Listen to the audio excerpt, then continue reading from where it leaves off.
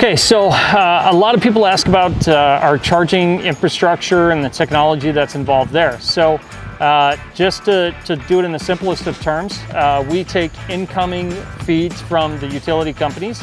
Uh, we push that either up or pull it down to uh, 1,600 volts and a 1,000 amp outlet or, or output from the charging station. So basically, you plug into the vehicle, okay?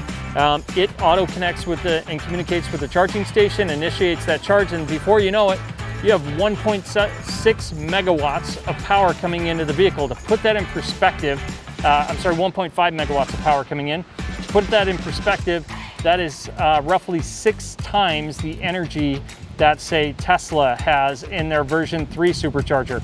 And what that translates to is about 3,000 miles per hour of charge rate at its peak rate. So we're six times faster than anybody else on the market, at least the leader in the market today. Um, and that's a big deal, right? That means as we deploy infrastructure along highway corridors and things like that, no longer is it drive for 200 miles and charge for an hour. It's drive for 500 miles, drive for 400 miles, or drive for 300 miles, charge for 15 minutes, get up and keep going.